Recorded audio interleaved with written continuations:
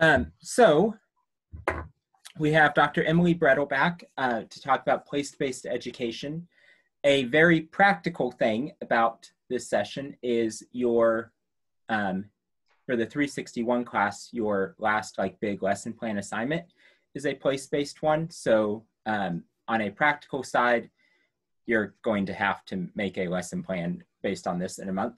Um, kind of on a like bigger picture thing, um, to me, one of the things that happens a lot is we try to teach um, like our kids are anywhere. You know, we try to teach, be like, oh, we're going to teach the exact same science lesson that you could teach anywhere. Um, but that's not the way students really learn. Like students are always in an actual place, they're in actual communities. Your schools have things going on around them.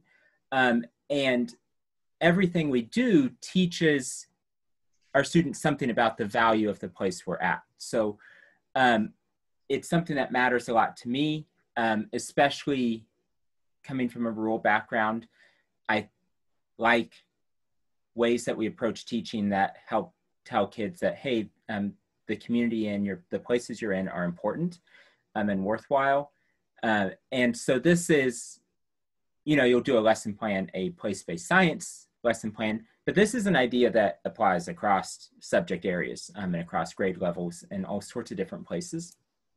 Um, so, and that's something I kind of hope that you're able to see is like, oh, yes, it's useful for science, but it's also useful a lot of other places too. Um, so Dr. Bretl, if you would like to, do you need to share anything or? Yeah, I'll share the screen just okay. it helps me stay focused, especially on a topic like this that I'm like super excited about. so let's see if I can do it right the first time. There.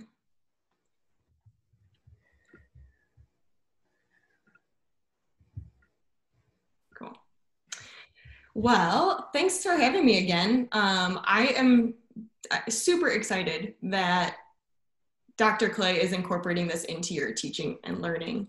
Um, for those of you who are here, I'm glad that you get to listen in real time. For those of you who will be, you know, hopefully watching and tuning in later, um, like he said, this is just such a practical and fun way of starting to um, incorporate place into your teaching, whether it's science teaching or across the whole board. Um, so you can hopefully tell by the triple exclamation point, this is what I'm really passionate about. Um, I would consider myself a scholar of place-based education.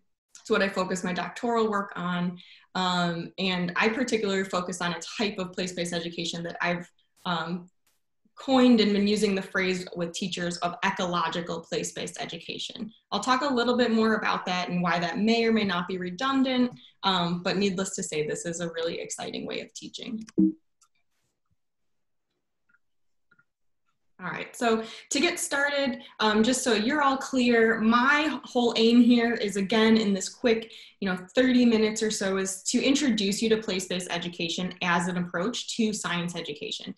That being said, this is definitely applicable to all of the work that you will do as classroom teachers and really applicable, especially in the interdisciplinary nature of an elementary uh, classroom. So we'll do a warm up, we'll do some definitions like we did last time so we're on the same page, and then I will be throwing at you lots of examples and um, a few practices in there those of you who are who are on here, please stop and ask questions. That goes for Dr. Clay as well. If you think I've glossed over something or should go more deeply into something, um, because I get I get really excited about it, but I also don't know how much, you know, to to just stop and calm down, chill out.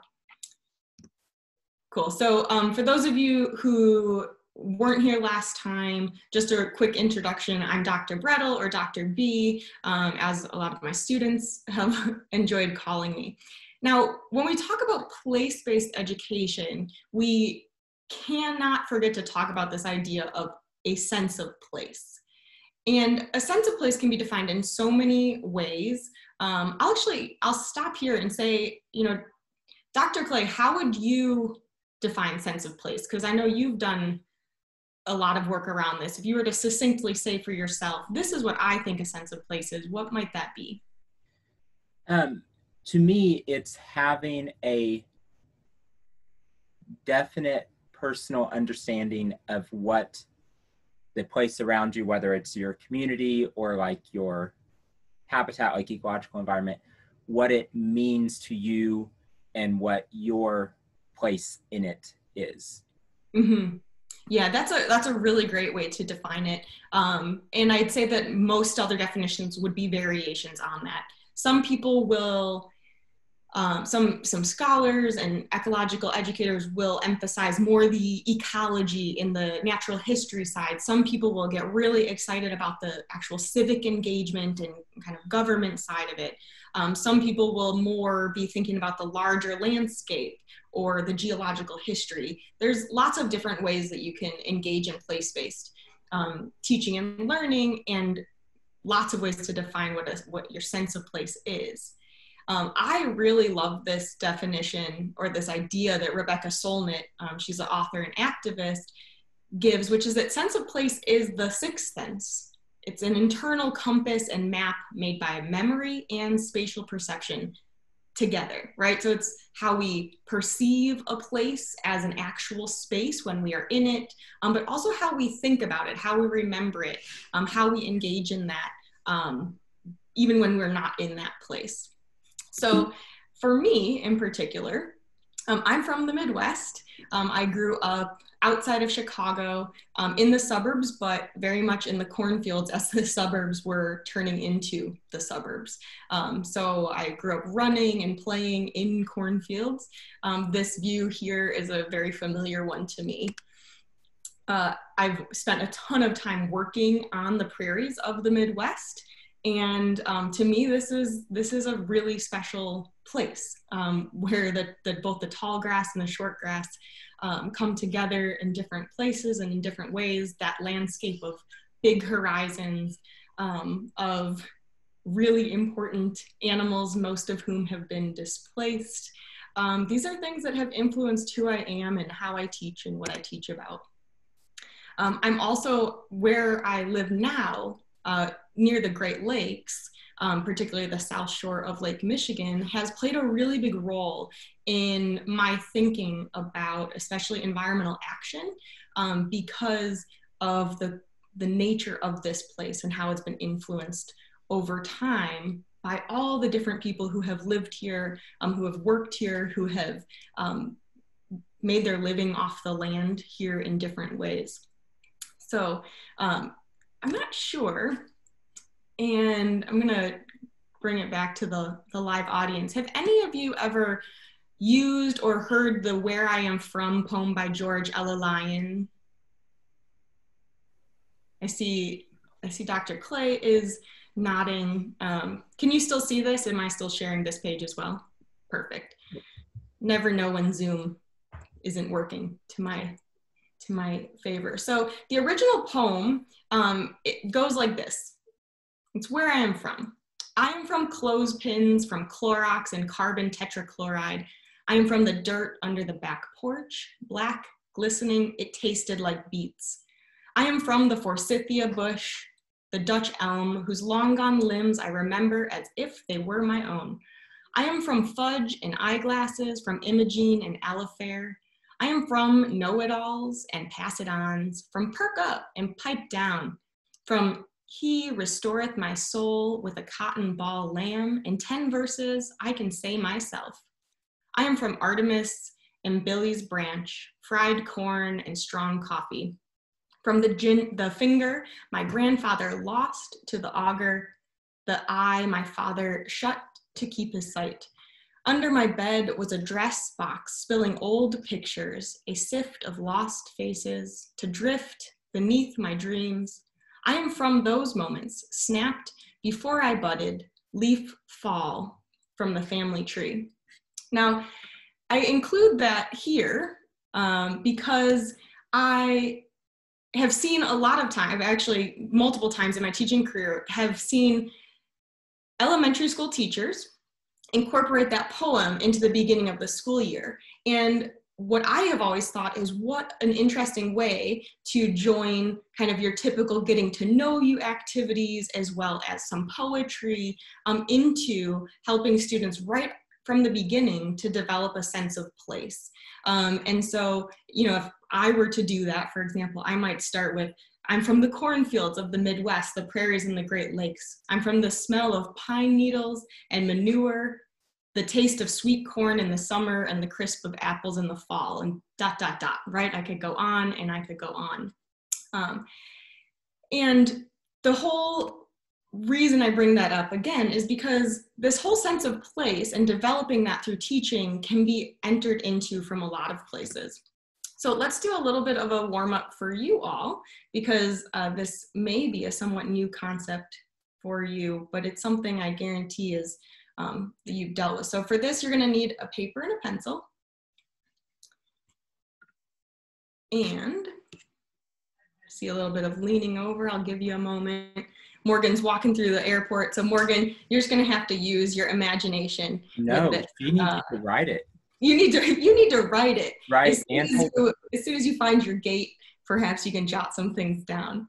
Um, so I want you to think of your favorite place in the world, uh, preferably one that you visited many times, or at least that you have a very strong memory of. Okay, so you know this isn't someplace that you know you want to go perhaps. This is someplace that you really know and you know well um, even if it's just from one visit um, but that you really haven't eh, have um, connected with. So very first thing i just want you to make a few notes about it.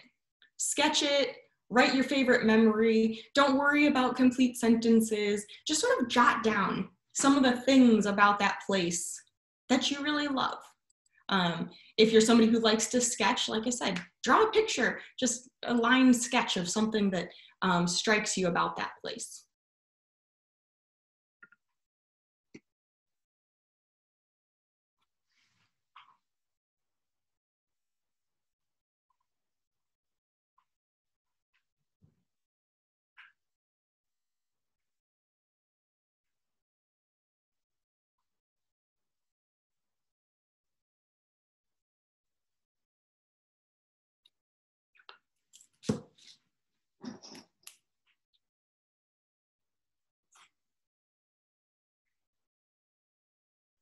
All right, now we're gonna keep building on that. Um, and I gave you a taste of this uh, when I was sharing, you know, making that connection between the George Ella Lyon poem and then my own sense of place.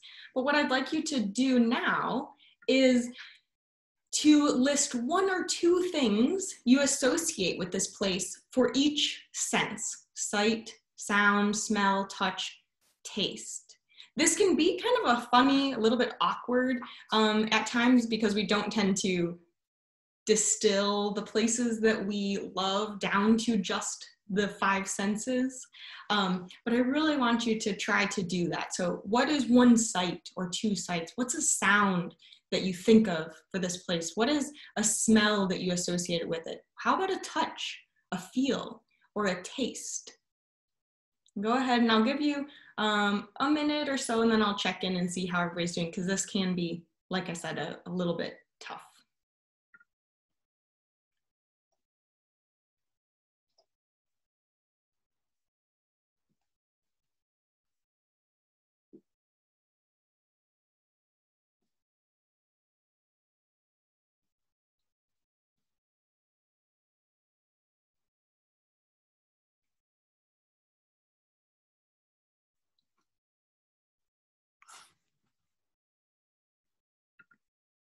And then as you're writing, think of one or two of these you might like to share with the, the live group right now.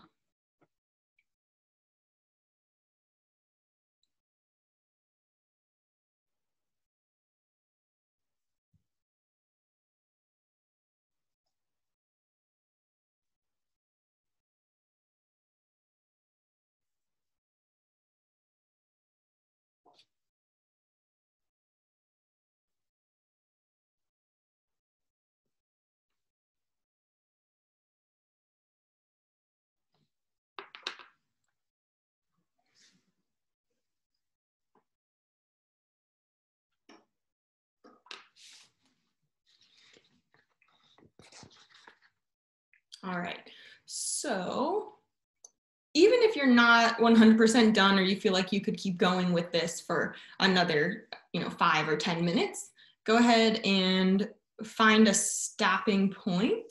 And what, because we're a small group, I hope everybody's okay um, unmuting yourself if you are able, and maybe just sharing one or two of your senses of place. Um, so maybe tell us where your place is and one or two of the senses you associate with that. Let's see, and that's fine, Susie. I got the chat open and I can read out what you say there. Um, can you guys hear me? Yep. Okay, good. Um, so I put Ponca, Arkansas. It's where my church camp is, and um, I said it's humid because Arkansas is insanely humid in the summer, mm-hmm. and um, a smell would be musty wood because all the cabins are made out of just basically plywood, and because it's super humid, it's a little mildewy. So it's there's a very distinct smell when you walk into the cabin. So those are my two things. Thank you so much. Isn't it lovely how sometimes what might be an unappealing smell elsewhere can be like something that you really love. That's like me and the smell of like manure on a field. Okay. It's yeah. like, oh, that sounds like home. All right. Would anybody else like to share?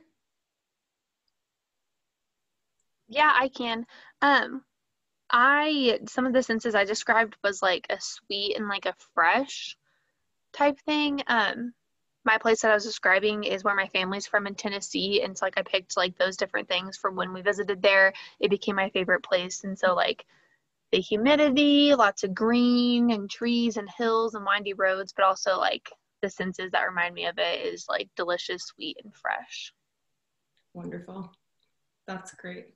That makes me think of um, there was a I did this practice with a group of teachers once, and a teacher lived in a place that had a Smucker's factory.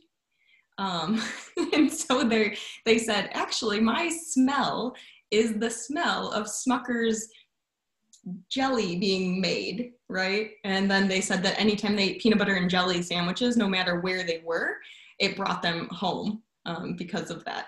And let's see, Susie has added um, Grandpa's Pond in Alpena, Arkansas. The clay feel of mud between the toes, the taste of ripe berries. Awesome. Wonderful. Uh, so again, we've just done a, a, really short version of this. And the whole reason is both to enliven the senses and help us to understand and start recognizing that the places in which we live, the places that we visit, the places that we've grown up in and teach in, they shape us. And so why not let them help shape our curriculum as well? Let, why not say what is really unique about this place and how can I incorporate that into um, my teaching? Because then students get to build that sense of place as well instead of just having that generic you know oh this curriculum could be taught anywhere in the united states or anywhere in the world. Um, you can still teach that curriculum but drawing on examples and experiences to help them connect can be incredibly meaningful um, feel free. This is definitely um, exercise that's really fun to do with kids, um, helping them to connect with place. I've done it with students when working on civic action projects to help them kind of recognize what they love about their community or what they think are issues about their community. And this is such a nice place to dive in because almost everybody can connect with place through the senses. All right, so moving forward, just with some very clear definitions of what place-based education is within the educational scholarship realm. So David Sobel, um, for a long time, has been one of the lead authors on place-based education, providing us with lots of useful resources around defining place-based education and pushing it forward um, as an approach to teaching and learning, both science teaching, but also in general. He defines place-based education as the process of using the local community environment as a starting point to teach all the things that we need to teach. And particularly, he focuses on developing public school teachers who really are, you know, focusing on language arts and mathematics, social studies, science, um, but it can really be any subjects across. In my own doctoral work um, and in my own work as an educator, I've really wanted to start highlighting the ecological of the place-based. And my reason for doing this is because I think that connecting to place is important. Um, for myself as a science teacher, I think that expanding that definition to very clearly um, help students and teachers start to understand ecological concepts, being able to recognize interdependent relationships, and also not always worrying about the content, but also really focusing our on developing that and nurturing love and delight for the world is just as important um, within place-based education. So you might hear me slip and say ecological place-based education. That's because that's the framework I tend to use, um, but it's just a kind of a sub branch of place-based education. So some of the starting points, if you are thinking about this for entering into place-based education, it could be the local community, right? So they're in the, the pink if you see color. Um, so the local community can be a place, maybe you're somebody who's really interested in civic engagement or in the history of a place. Maybe you want to enter more through the nature and ecology, you're more focused on the actual science um, as a, you know, as your role as a science teacher. Um, or maybe you are very focused on the standards and what your school needs you to teach or wants you to teach. And so you're going to start by choosing some standards and then seeing how you can incorporate the local place into that. Maybe you're somebody who really wants to get your students engaged in a local issue and actually taking action or learning to care for local spaces. That can be another great starting point. Obviously, that sweet spot is really going to be that center where all these pieces are coming together. Um, as elementary educators and even for middle years educators, that sweet spot is a little easier to incorporate into teaching and learning because you're often teaching through interdisciplinary methods. And in high school, that can be sometimes a bit more difficult, though place-based education is almost always going to be interdisciplinary, even if you are only focusing on the science or only focusing on the um, the history or social science aspects. Now, if I were to distill down the aims of project, or I'm sorry, of place-based education, I'd say it's to help our students and teachers develop a sense of place, to really create a curricula that is life worthy, right? So that's helping students connect with um, their learning to their life. It's about developing ecological literacy, so understanding how the world works and our place within it um, and then engaging in the local community. Again, there's a lot, there's many more aims depending on who you are and what you really care about. Some people would say, oh no, it's about making sure that we take action for change. Um, everybody will emphasize different things, but these are kind of the distilled big pictures. Of course, it's really helpful to know what the benefits of place-based education are if anybody is asking, and they're very similar if you're here for the arts-based um, presentation last week, it's really about making learning more meaningful, helping students to connect their skills to the real world. Um, a particular benefit of place-based education is that reducing of brain drain. And this is really important in rural areas, as I'm sure many of you might know, right, of people who are intelligent and creative and enthusiastic actually leaving because they feel like they need to go someplace else um, because they, they really don't know what or why they would want to stay in that place. So place-based education can actually help people connect to place and feel a sense, a deeper sense of belonging and commitment to, the to the places that they live in. It improves student engagement, improves ecological literacy, and then all, all of this leads to raised student achievement. If you want more information on those, I've included a couple links that you are more than welcome to dig into. Um, if you find this really interesting, you know, or if you just want to, to be able to make a, give a, an, an administrator a reason for why you're going to do this. Um, one thing I'll interrupt and throw in really quick. In Kansas, one of the new outcomes, KSD doesn't know how to, they're, they're going to measure this. So like setting that aside, one of the outcomes that is officially listed now is civic engagement. Um, so it's also one that like to an administrator you can justify by saying like hey look kansans can this policy says this is one of the things we're going to do um, so if it's a project or something in the community that is an outcome that is listed in state policy. Um, Wow, you that's won't get a lot of help from KSD on what that should look like. So this would be a great place for what it would look like. But that is definitely a way you can justify it. If they're like, well, why don't you just teach them the stuff they need to know and not bother with it? Like, well, according to the state, this is in the need to know list.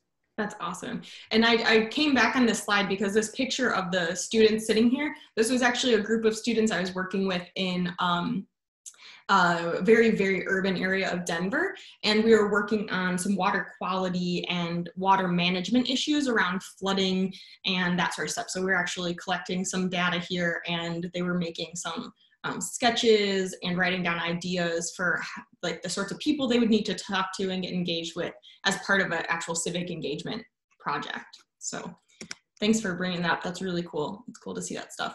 Um, I feel like I need to put these in here when I'm giving presentations in this world virtual age, right? Like we're having to, we're, we're learning a lot right now. And the key things are that it's very important to plan ahead, to be patient, be super creative and stay safe as you're figuring out how to do these both normal ways of teaching and also if you're trying to incorporate new ways of teaching. Place-based education is necessarily place-based, but if you're planning to say to kids, you know, go out and interview somebody in the community, well, you might want to remind them to like wear a mask and socially distance and wash their hands and all those sorts of things that um, make for good social care as well um, as still being uh, engaged in your local community.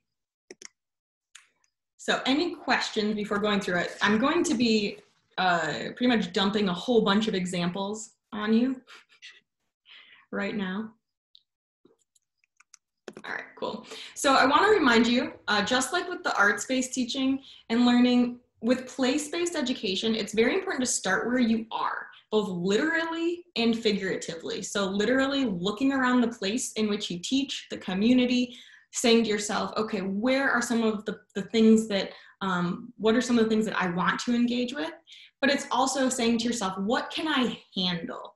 Um, so not feeling like you have to take it all on at once or be an expert. I love this quote from Rachel Carson in which she she's really addressing the adults wanting to guide the children. She says, I sincerely believe that for the child and for the adult seeking to guide them, it is not half so important to know as to feel. If facts are the seeds that later produce knowledge and wisdom, then the emotions and the impressions of the senses are the fertile soil in which the seeds must grow. When you're trying out new ways of teaching, or if you are a new teacher, remember that you're going to be learning a lot as you go. And the best thing to do is to start and learn along the way, as opposed to saying, oh, no, no, no, I can't do that. There's always some little thing you can do to get started. So uh, this idea of starting small and going slow um, is written about extensively by Sarah Anderson in a book. I'm blanking on the name. Um, it's called Bringing School to Life, and she, it's all about place-based education. And she and I totally agree with her that when you're getting started with it, it can be very important to just sort of, you know, pick the little things that you can do. It might feel disjointed. It might be, you know, an outside um, adventure on site here. It might be an example from a local newspaper there. But in the end, um, it's better than absolutely doing nothing, in my opinion, if you want to get kids engaged with the local community, with the local ecology. Now, on the other end of this continuum, right, of you know, kind of starting small to going slow. On the very other end is the idea of teaching with the earth in mind. And this is an idea that comes from David Orr, who of course, he's trying to say our whole curriculum should be focused on teaching with the earth and the community in our places in mind. Now, for many of us, that's not going to be possible. It's going to be very hard um, to accomplish, but it is sort of that ideal. And here I've kind of shown that, you know, that you've got all of those disparate pieces that are on the one end of the spectrum coming together into a more complete whole um, on the other end of the spectrum. And of course, it's that middle ground where a lot of us spend a lot of time balancing the things that we have to do that are required of us and the things that we really want to do or are learning to do better um, as we become the educators that we hope to be. So again, just think of this continuum um, and moving along that in any direction at multiple times throughout your teaching career. So some of the opportunities for, for integrating um, place into science, I won't read these all out to you, but they can kind of range from the little things, just materials, examples, activities, to the really big things. So designing entire projects um, or collaborating with community partners. But again, that middle ground, right, of using local place or local examples as assessments, um, intentionally integrating the specific standards into place um, can really be sort of that sweet spot for a lot of teachers once they get going with place-based teaching and learning. Again, I used this image in our um, last presentation, but I just think it's such an important idea, this idea of finding small openings, right? You don't have to do it all at once. Um, there is a lot of opportunity for richness to come out of um, unexpected and small places. So just to throw a bunch of examples at you, like I said, um, so starting small, going slow, maybe it's just looking at the actual materials you use, collecting things from around your area. Maybe it's entering into a local contest um, that's bringing together youth on a certain topic. Um, maybe it's including videos and pictures of your local place um, to help kids get excited about their learning. So it's not just a generic picture in the textbook, but someplace that they might recognize and remember. Especially in small communities, this can be super fun because the kids will get so excited. Oh my gosh, I know that. That you know, that's the that's the restaurant that we all go to on Saturdays or whatever it might be, and everybody gets real excited about that. Other things you might be thinking of is the models and examples you use um, to help students grasp an actual skill or idea that you're trying to teach. So maybe again, you're presenting them with pictures of local place that one with the seagull is my local place and maybe i'm talking about erosion maybe i'm talking about ecological systems um, but a lot of people who live here would go hey i know that they might even say i know that piece of wood um, maybe it's you know using examples of things found in nature in your local environment so that students might encounter that again. Um, maybe it's choosing books that help students connect with an actual place. And what's especially exciting is when you can find a book that helps students to connect with your actual place. So i didn't do too much research but i did find this great book. I don't know if it's actually great. Called s is for sunflower a kansas alphabet um, and it I, I, to be honest, would need to learn a lot more about Kansas to say if it is accurate. Um, but it did seem like they have one for pretty much every uh, state, and it seems like it would be a fun thing to incorporate into teaching and learning.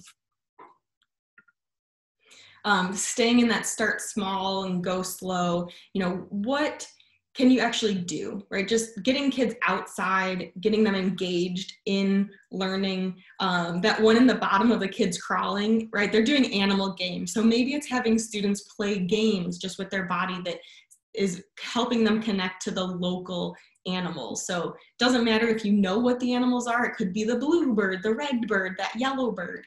Um, it could be maybe the kids know a lot. I know sometimes in in rural communities, I used to live in way rural Vermont. The kids knew more about the plants and animals than I often did as their teacher, um, and they might have a better, a really good idea of how those animals move and what they eat. Um, so playing games and just actively engaging can be a fun way to start small and go slow. Um, I don't think we'll have time for practice because I think I'm I got too excited and I'm gonna run a little behind. But this is one of my favorite um, things I've done with students to get them really engaged in place. This is actually through math. Um, so going out and finding geometry in nature. Again, it's a small thing, um, but it's a fun way to connect both with nature and with place um, while also practicing, you know, their ability to identify different ideas in in math. Um, and obviously this is you know we're talking about kind of science teaching but i'm giving you a lot of uh, interdisciplinary examples because that's a lot of times what often ends up happening within uh, within place-based education. Cool. So any questions on that part? Cool. so, what was the activity with the sticks and the the leaves and stuff like what did you do for that? Is that yours? Yeah so that's one i've actually um, i've done variations on this. I've had teachers do this. Um, that one of them in particular, these are these are just two images I kind of generically pulled off, but one that I've done with students was actually doing um, self-portraits using natural objects. Um, a friend of mine recently had students creating visual um, explanations of a scientific concept using natural found objects, which was just a very fun way instead of, um, you know, it takes more time, right? Maybe it's a little bit slow and clunky, but it was a great way for students to have to think more deeply about what is this, you know, what did happen in this lab and how can I explain it by not just being able to verbalize it or draw it, but to have to find things. Um, it's also in this, you know, in this virtual world, being able to set, or, or if you're teaching in person, being able to send kids outside where there's lots of space and they can move their bodies is also a great way to just, you know, do something different where they might remember it differently, right? Of trying to, I don't know, describe how erosion happens, but through sticks and stones picture drawing instead of just saying what happens. Yeah. There's a lot of different ways to just use natural objects though um, especially if you're thinking in the interdisciplinary way, like counting, colors, all sorts of stuff. All right, so some more examples. If you're just trying to find that sort of middle ground, this might be assessments. I used this picture last time as well, right, of saying, I'm gonna show a local picture and have students apply that content knowledge to it so that they're making the connection saying, oh, the water cycle happens in real life, not just in my textbook, and it can be seen in this place that I walk past every day. Um, so I think that that can be a really great way to incorporate it. Um, I wonder if your professor recognizes himself in this picture, in either of these pictures. Um, but another place is through of finding middle ground is like those special projects. So it might not be stuff that happens every single day, um, but it's a special class or it's a special field trip or maybe like the picture of these students working together. They were collecting um, data around water quality. So they're actually using real field work um, to uh, play into their science studies around the quality of the local river, um, but they were doing a lot of vertebrate identi invertebrate identification and counts and um, recording. So practicing real important science skills, but also um, doing it through fieldwork and really getting to know their local place. Another way is just exploring place. This could be if you're teaching virtually, right, the virtual background. It could be creating field studies opportunities. Um, it could be creating virtual visits. Um, so we'll just play this one real quick if it loads. Like this is just a very brief video I made at a local park in Chicago that is a fun way to say, hey, let's go on a trip, um, even if you can't actually go on a trip. Um, so I like that. And then I also found this really fun website. I not click on it now so we don't get distracted, but it's actually astronauts reading stories in space, which I feel like is a very fun way on place, especially if you're trying to include the bigger universe in our concept of place and seeing ourselves as part of um, the bigger place. And then finally, kind of that on that furthest end of the spectrum, that whole idea of teaching with the earth in mind, this is really where you're looking at developing whole projects to connect standards, the local genius, the student interest, and community action. Now, this takes a ton of time and is not something that I would recommend doing, you know, saying to yourself on a on a Saturday evening, yes, I want to start that on a Monday. Most often project development, especially with a place-based focus, will take quite a while. It's important also to be working um, with the local community and people who can help you um, sort that out. So um, I've done a lot of place-based teaching, especially around gardening and develop guard, developing gardens, um, as well as around field studies. I have a friend who has created an entire curriculum around the Columbian exchange and really helping students to make those big connections across big place uh, spans um, through food that the students actually grow, so a different sense of place. Um, and then, of course, we talked last week about na using nature journals um, as a way to connect with place kind of on a daily or weekly basis where you're doing deep in-depth studies um, and really connecting uh, your data collection to something that's maybe more artful or more useful of long-term observation. Um, and then of course there's the, the, most complicated, I would say, it's super fun. I've done a bit of this, but it takes a lot of time, is creating those local community partnerships to support your teaching and learning. So um, this is a group I used to work with. Those are actually two of my students from, oh my gosh, my first year of teaching, um, where the um, we were actually working with a local group to do trail building and trail maintenance, um, specifically related to water runoff while we were studying soils and soil ecology um, in our seventh grade science class. It took a ton of time. It was really hard.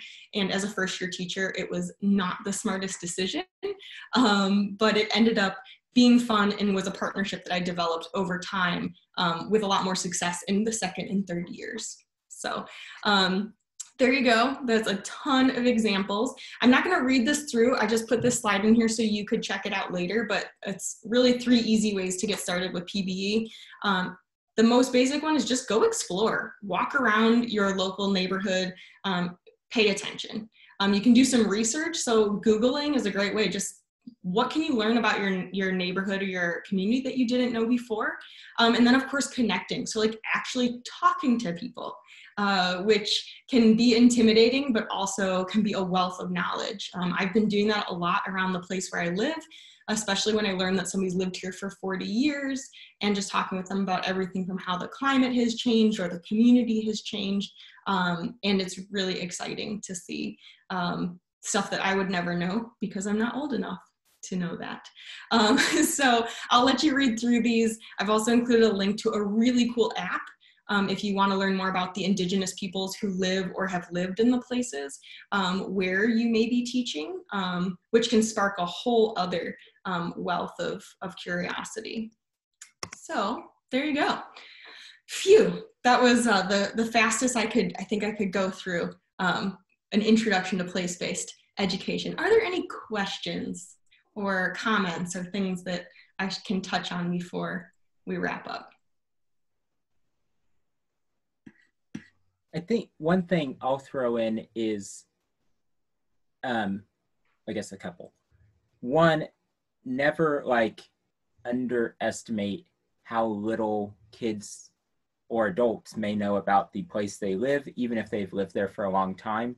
One of the ones that has fascinated me um, being in Western Kansas, especially kind of towards the Southwest part of it, is the number of people I've heard be like, oh, where can you see a pronghorn?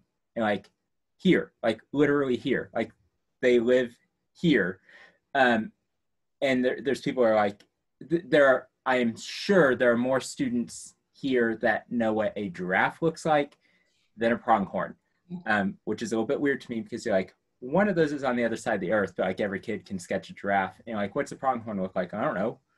Um, I didn't know that was a thing. So that's one that like it always makes me like, oh, they don't know that. They've grown up here. They don't. Um, or a lot of them don't. The um, other one is as you're working on your lesson plans, whether it's your place-based one or like your earth systems one or stuff, when you get stuck, I think a great strategy is just like just go outside for a little bit. Um, because like when you're stuck, if you just like sit mm-hmm. there still being stuck, you're gonna think like all sorts of unkind things about me and like that jerk he doesn't know what it's like whatever. Um, and you're like you'll still be stuck. And like i know you think those things because i thought those things about um, professors i had. Um, but even just taking like a little break to like get out and you know just stuff like sticks out to you or you know little things like oh i wonder. Um, so that's one i've started um, in the mornings i drop my kids off at school um, it's usually chaotic there's always like we've we've had a lot of toothpaste related incidents um, where like um, yesterday my kindergartner had it on his forehead and his shirt and so like this morning like brush your teeth shirtless um, so you don't go to school with toothpaste all over your shirt get him to school like toothpaste all over his shorts. Like, awesome. Um, anyway, so like I dropped him off, and then there's a few just fields that I go by and um, I have binoculars and just kind of look them over for five or ten minutes, um, and just get outside for a little bit, you know, or maybe walk along the road um, on the edge of them some. And it's just kind of like a great way to kind of clear your head, also get some different perspective. Um, I think anything you're working on, if you're stuck, don't sit there being stuck. Like go read something or get outside or whatever. But like I've never been stuck and just like suddenly become unstuck sitting there.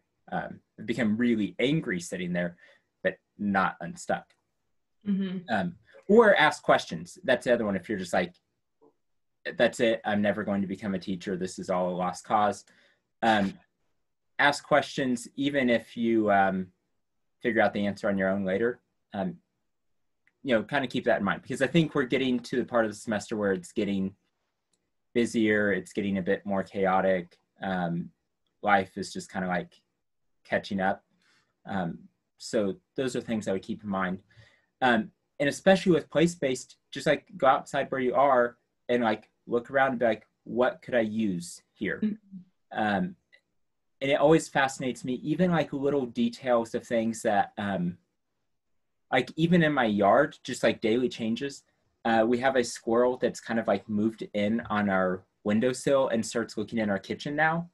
Um, and it's when we are just like, um, because my kids were like, it, it was carrying some sort of nut, and they're like, oh, it's carrying a walnut. I'm like, well, it's not carrying a walnut because there's not a walnut tree around.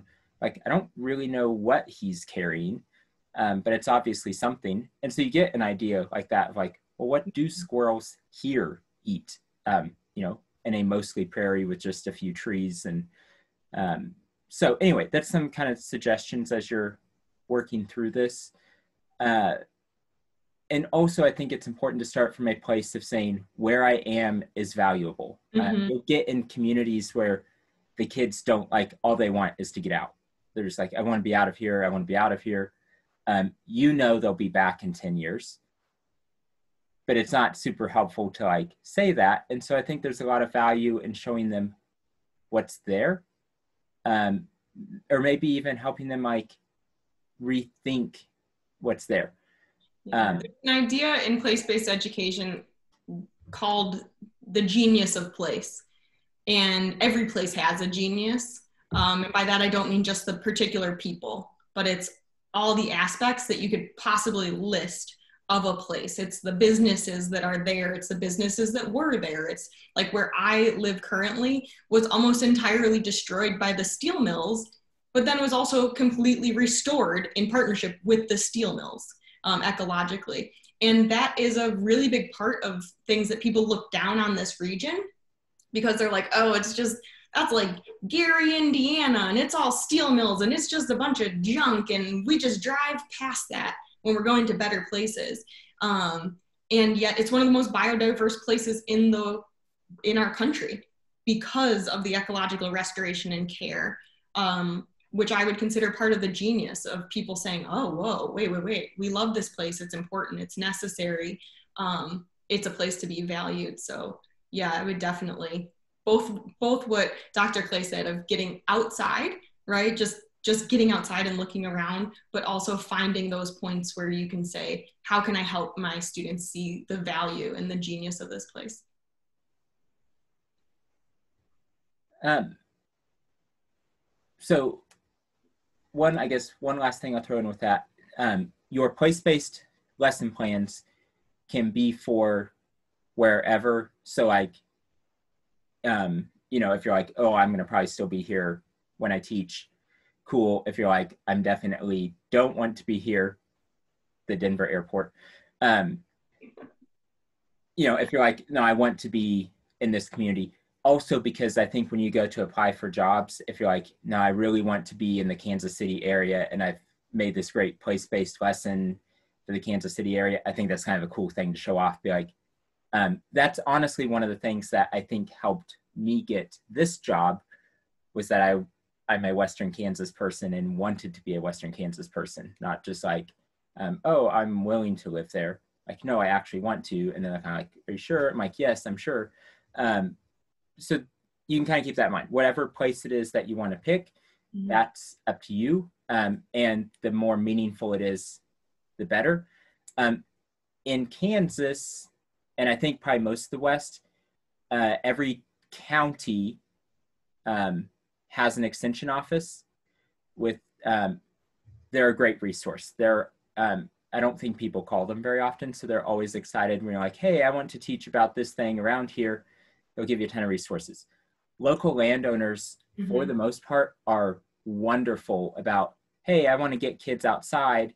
Um, it's a great way because like they feel like they're really contributing to the school and they are and it doesn't cost them anything. Um, so I was amazed a couple years ago when we developed a, an environmental science class, the number of local landowners that are like, sure, you can come out on my place. And some of them are even like out there to greet us and show us around. And um, so local landowners, if you're just like, hey, can I um, bring some students out here? Or can you tell me about um, this? Mm-hmm. So that might be a resource you can look into if you're kind of stuck is um, just talk to some people that have been around there for a while, um, especially ranchers ranchers know places. Um, i mean they have to or they're not ranchers very long. So you know those can be good folks to talk to because they they know what's going on um, and they're usually pretty open to sharing especially if you're approaching it from a hey i want you to share because i want kids to be able to see this. So anyway do either of you have a last minute question? Um, awesome thank you so much for coming. Thank you, Dr. Bretl, for sharing. Morgan, I hope you have a safe trip. Um, where did you say you're going? Um, I'm going to Salt Lake to see my boyfriend. So Denver to Salt Lake. Yeah, I flew from Wichita like, to Denver. Yeah, so you probably like by the time you would get to take your seatbelt off, they'll tell you to put it back on. Pretty much, yeah. Yeah. But, I had to also remember that the time change was different. So I was like, oh, it's like right now. Class is right now. because I was like, I'm, oh, it's 10:30. I'm good. I'm impressed because I've messed up a lot of those in my life. yeah. uh, and in fact, Dr. Bretl, when we like first started working on projects together, you were in Dubai at that point, right? Or Mumbai? Is Mumbai? India. Yeah. 11 and a half hour time difference. Wasn't it 11 and a half? Yeah, it, yes, awkward. It was the awkward half. Yeah. So good job on figuring out time zones because I haven't yet. But have a safe trip. Thank you. I'm about to board, so I gotta go. Right. Have fun. Bye. All right, cool. Thanks for having me. Yeah, thanks for doing it.